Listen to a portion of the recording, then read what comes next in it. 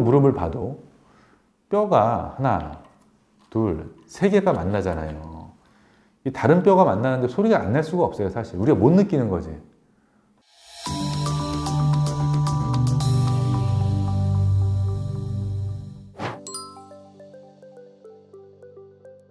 날씨가 흐리면 관절이 아플 수밖에 없는 이유가 여러 가지가 있습니다. 과학적으로도. 어, 날씨가 흐려지면은 흐린 게 뭐예요? 그 저기압이잖아요. 주변이 저기압이 되니까 안쪽이 고기압이 될 거예요. 그러면서 이렇게 팽창하는 그런 이제 관절 주변에 감각이나 통증을 느끼는 신경들이 좀 자극을 받고 어, 그러면서 이제 통증이 증가될 수 있다. 그런 가설도 있습니다. 네, 심리적인 부분도 많이 작용을 해요. 좀 다운되죠. 그러면은 관련된 호르몬이나 인자들이 통증과도 연관이 되어 있는 게 많거든요. 퇴행성 관절염 있는 분들은 오랜 기간에 걸쳐서 이제 무릎이 안 좋고 관절이 안 좋으니까 이게 이제 우울증으로 가는 분들도 많습니다. 관절에서 소리 나는 건 당연한 거예요. 당연한 건게요 무릎을 봐도 뼈가 하나, 둘, 세 개가 만나잖아요. 다른 뼈가 만나는데 소리가 안 날 수가 없어요, 사실. 우리가 못 느끼는 거지. 실제로 좀 민감하신 분들은 그런 것들을 좀 느끼고 그것 때문에 불편해서 오는데 문제는 그게 자연스러운 건데 그걸 너무 크게 느낄 필요는 없다는 거죠.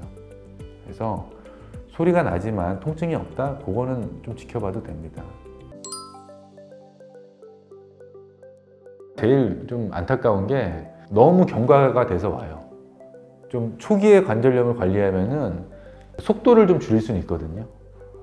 뭐 40대 때 시작이 됐다 관절염이. 근데 그게 관리 안 하고 그냥 아픈데도 그냥 아유 뭐 아픈가 보다 하고서 뭐 그냥 지내다 보면은 이게 다른 분들 70대 80대 무릎이 50대 올 수 있단 말이죠. 그러면 막 그때부터 벌써 인공관절 수술 생각을 해야 되고 어, 인공관절 기구는 약간 수명이 좀 있어서 좀 적절한 나이가 필요하거든요. 미리미리 좀 병원을 가서 자기 상태를 평가를 해서 진단을 정확하게 받는 게 중요하고 그 시기별로 저게 적용할 수 있는 치료 방법들이 있기 때문에 자기가 관절염이 있다 없다 뿐만 아니라 내가 어느 정도 단계다라는 것을 정확하게 아는 게 중요합니다. 심하지 않은 그런 손상에서 관절 내시경으로 수술할 수가 있고 다리가 오다리나 이런 변형이 심해서 생기는 문제들은 이제 교정 절골술이라고 해서 쉽게 얘기하면 잘라서 어, 정상에 맞는 그런 모양으로 좀 교정을 해서 치료를 하죠. 그런 오다리나 이런 X다리를 교정함으로써 어, 무릎이 한쪽으로 부하를 좀 집중받는 거를 분산시키는 거예요. 통증이 없으니까 활동도 좋아지고 그러면서 몸도 건강해지는데 다리도 일자로 막 펴지고 하니까 약간 미용적인 효과도 있어요.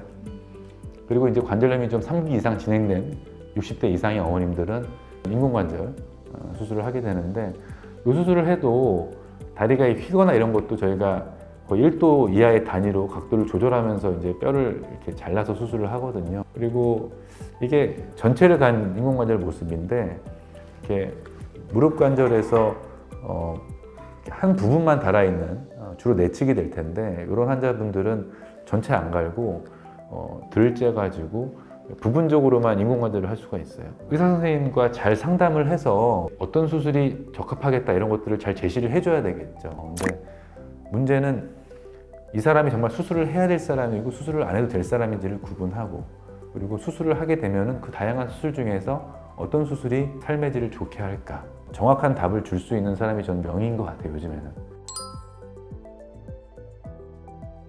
봄철이 다가오고 있습니다, 여러분들. 어, 너무 날씨가 좋아지고 따뜻해지는 거에 우리가 들뜨지 말고 어, 우리 몸을 위해서 좀 그 심리적인 안정감을 좀 갖고 어, 좀 준비를 하면서 이 활동과 운동을 진행을 해 나가시는 것을 적극적으로 추천드립니다. 계절은 계속 바뀌어요. 다시 봄이 왔지만 우리 몸은 한 살을 더 먹었습니다.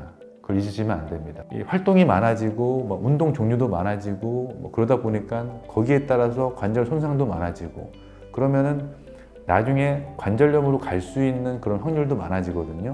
그래서 우리가 늘 관절 건강에 대해서 조금 어, 인지를 하고 평소에 저거를 잘 관리할 수 있는 방법들을 어, 늘 연구하고 어, 인지하고 있어야 됩니다.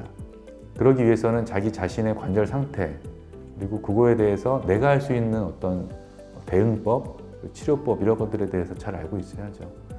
건강이 최고입니다. 여러분들 화이팅!